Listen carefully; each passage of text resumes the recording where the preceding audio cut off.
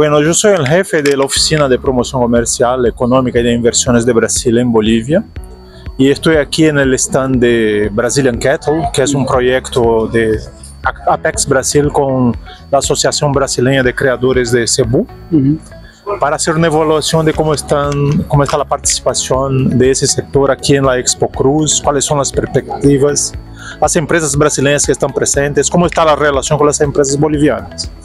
Y eso es muy importante para Brasil porque eh, el mercado cebuino en Bolivia es un mercado importantísimo para Brasil.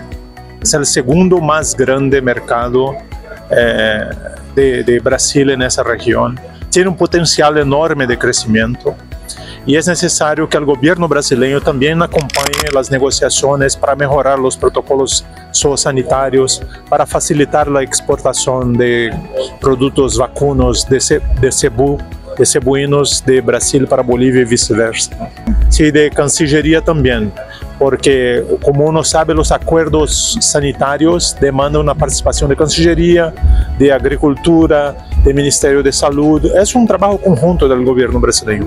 Apex Brasil hace una parte de la promoción de ferias internacionales, que es un papel muy, un rol muy importante.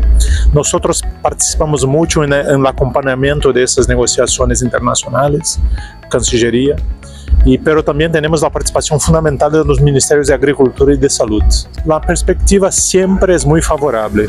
Los, los empresarios brasileños que ya trabajan con Bolivia ven un potencial enorme de crecimiento aquí para el sector y los empresarios que por primera vez participan en, en, Expo Cruz y vienen a hacer visitas técnicas, a hablar con sus contrapartes bolivianos, quedan muy impresionados con las condiciones favorables a la producción aquí.